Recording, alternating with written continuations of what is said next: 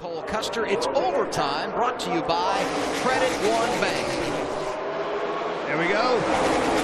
Up through the gears. Looks like Custer is jacked up by Reddick. Rear tires on the ground almost. Brushes the wall a little bit from Reddick. Cars down to the inside. Did you see that one coming? Look comes Reddick. Crossover move. He Woo. takes the lead in turn one. Look at that. the move. That dive. Love that. That was, I mean, it was like the right timing. It was like Cole was looking in the mirror and Reddick just carved out of there and Jump completely surprised him. Lost his a little bit off one, but now he's going Back to block. And now Custer's got to deal with cars behind him. Huge switch. Remember, Reddick came down, got those two tires. That might be the difference. It was, right? At fresh left sides. It's amazing what that, that'll do. Or it's just Reddick is manhandling that thing. Wow. He is after the beast. He's doing it.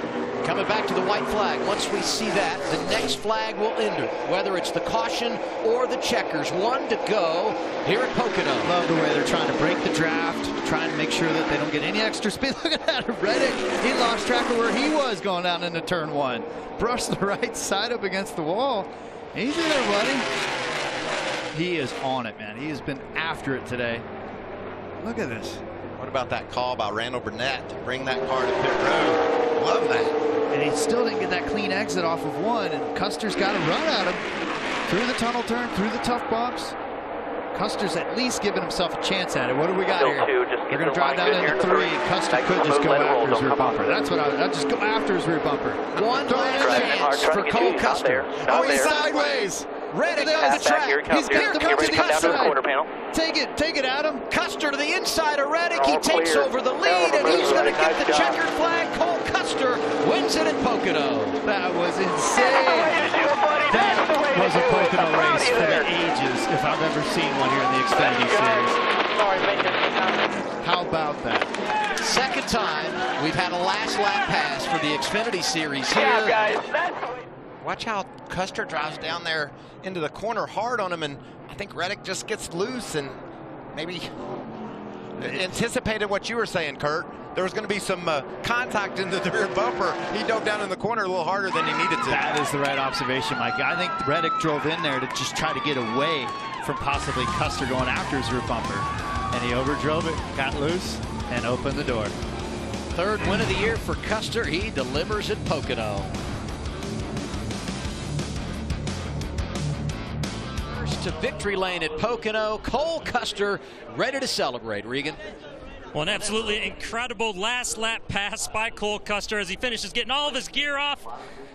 What a victory for Cole Custer. His team's not even down here yet to spray him with Gatorade, but uh, nonetheless, one of the best moves of the season. Cole, you take that last restart, and did you think it was over when he got past you going into turn one there and talk me through the last lap and what happened. Man, I, I mean, Tyler gave me a great push down there, and I have no idea how he made it stick when he drove down in there into turn one.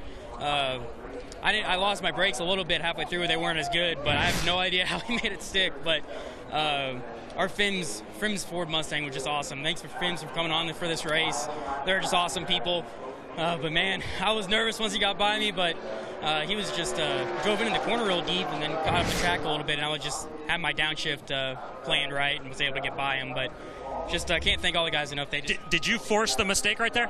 Uh, I mean, I think he knew I was going to go in there and try and pack air on him, so he tried to drive it in deep. But uh, I think that's what did it. Congratulations, Cole.